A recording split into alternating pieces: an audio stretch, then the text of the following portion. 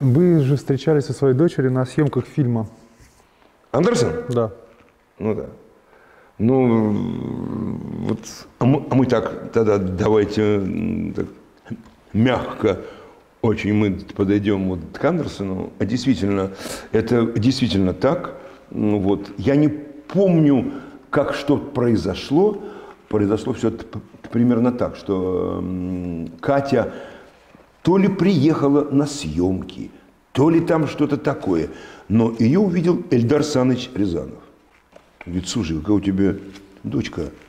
Она кто? Я говорю, она вот в Ленкоме. Слушай, а ну-ка давай, Сережа, давай, я ее хочу снять в одной роли. И снял ее вот, значит, в роли вот этой вот.